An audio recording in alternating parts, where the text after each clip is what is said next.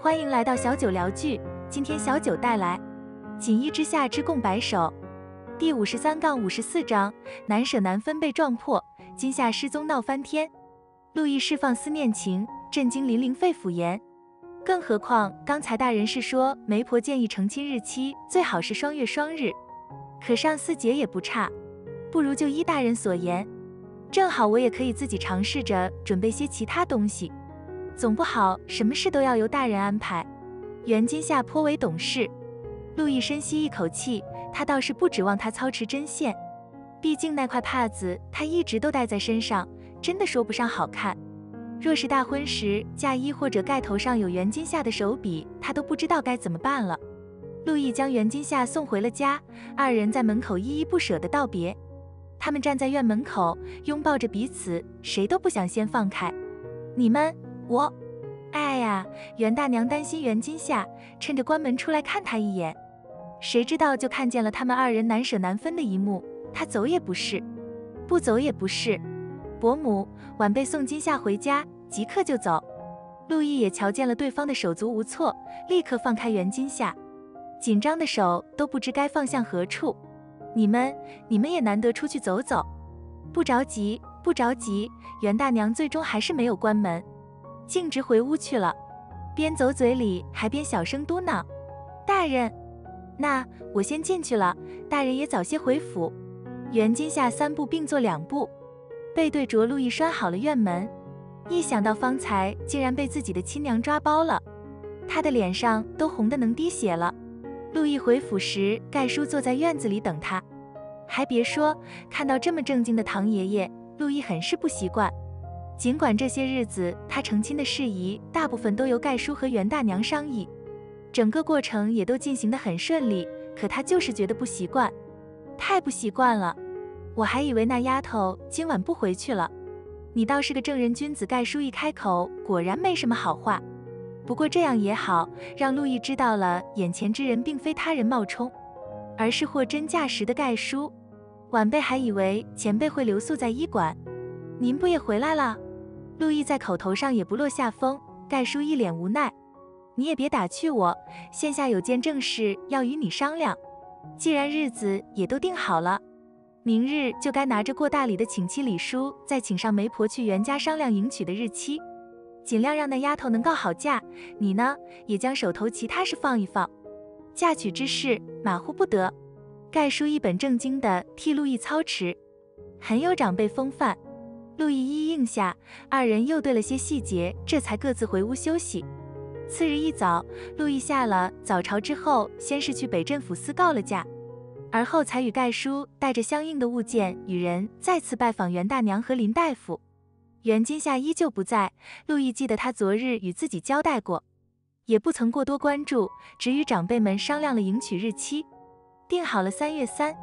而袁今夏此刻正在郊外，果然如他所料，这个案子最后还是交到他手里了。不过有些意外的是，许昌今日收敛了许多，都不怎么和他为难了。想来昨日陆毅踹了他一脚，将他踹清醒了。袁今夏一路跟踪贼人，终于停到了郊外的茅草屋。他已经盯梢了半个时辰，千里眼看得他两只眼睛都酸了。好不容易，终于等来了合适的抓捕时机。可是他这三脚猫功夫实在有些不入流，与那贼人打斗几番，手上的弹丸用完了不说，就连手冲里的钢珠也不剩多少了。眼瞧着人就要跑了，他一时心急，竟然在打斗之间被推到了悬崖边上。贼人也是恶向胆边生，几番功夫便将他踹了下去。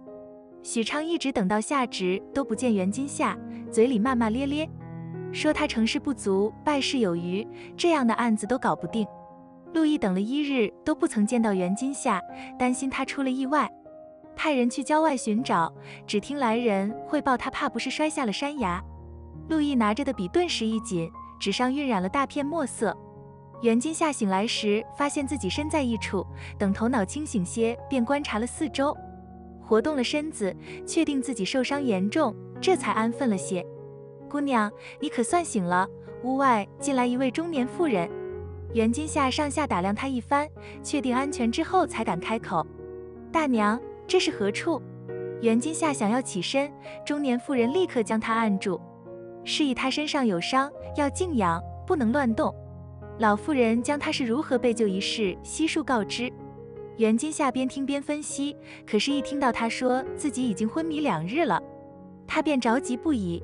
一想到自己已经昏迷两日了，娘和姨有多担心，师傅若是知道了，会不会愁得整夜睡不着觉？大杨和上官姐姐忙着照顾孩子，会不会因为他寝食难安？还有盖叔和陆毅，几日见不到他人，是不是要找疯了？一想到这，袁金夏便想立刻起身，可是他浑身上下没有一处好地，背部受伤严重，胳膊和腿也是布满划痕，一时之间就算想出去也难。大娘，您能否帮我一个忙？我衣服里有一块令牌，您能否让大叔帮我送到城里北镇抚司？袁金夏也不知能不能相信眼前的大娘能将令牌送去，可是他只能赌一赌。姑娘，你别着急，我一会儿便让老头子送去。想必你昏迷这么久，家人也会担心，你先莫急。我熬了些粥，你喝两口再说。这位老妇人慈眉善目，说起话来也和蔼可亲。袁金夏神不知鬼不觉就相信了他。另一边，已经连着搜索了两日的陆毅神情失落，手中拽着袁金夏绣给他的帕子，黯然伤神。大人。外面有一位农夫送来了袁捕快的令牌，说袁捕快伤势严重，如今正在他家中养伤。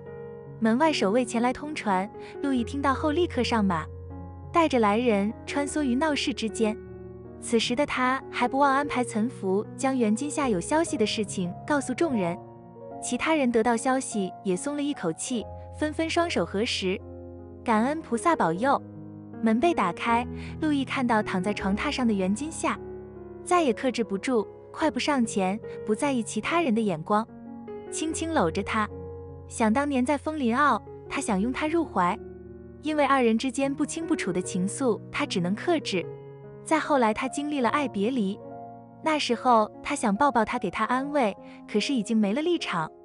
如今，他终于可以不顾及繁文缛节，不顾及众人异样的眼光，光明正大的抱她了。他颤抖的手向袁金夏诉说着自己的委屈、害怕与克制。他怕他一眨眼，袁金夏就会从他怀中溜走，这一切只是一场梦。他怕自己情绪激动时太过用劲，伤了他。他委屈，是因为他从未好好保护过他，每每都是在他受伤之后，自己才会迟些片刻来到他身边。大人，袁金夏眼中带有迷茫的恐惧和不敢置信。他没想到他的金甲神人真的来了，此刻就在他眼前。金夏，别怕，我来了。陆毅不知他伤在何处，不敢轻易碰他。手下的人已经准备好了车架，他小心翼翼地将他安置在马车里，这才返回来与大娘大叔道谢。金夏，林大夫已经到了，我已告知伯母，这些日子你便在陆府养伤。六扇门我也替你告了假，你不必担心俸禄。陆毅的双手轻轻拂过袁金夏毫无血色的面庞，他微闭双眼，静静地靠在陆毅肩头，时而眉头微蹙，时而重重吐纳。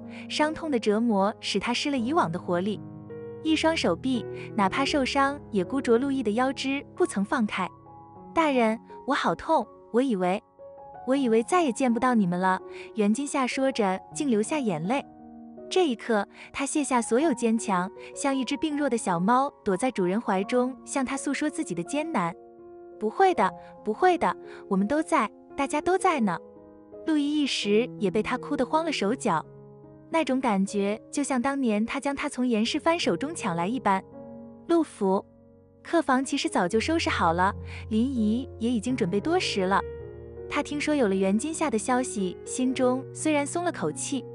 到底没有见到人也放心不下，如今看到人还活着，只是受伤重了些，心中虽然紧张，却也不再害怕。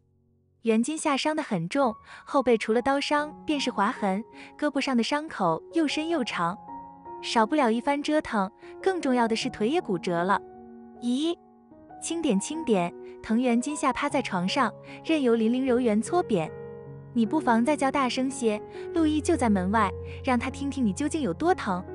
林玲语气有些冲，手底下到底还是轻了些。如今怕是谁都管不了他。